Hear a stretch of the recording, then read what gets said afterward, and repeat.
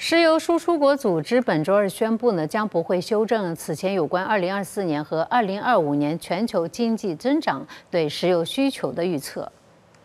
石油输出国组织在五月的报告中，以二零二四年全球经济增长率百分之二点八，二零二五年经济增长率百分之二点九为根据，预测二零二四年的全球石油每天需求量为两百二十万桶，而明年全球石油每天需求量为一百八十万桶。该报告预计，中国由于经济稳定增长，石油需求量将会显著的增加。二零二五年的需求量则达到四十一万桶。该组织宣布呢，将会按照上个月做的石油需求预测，不计划进行任何的修正。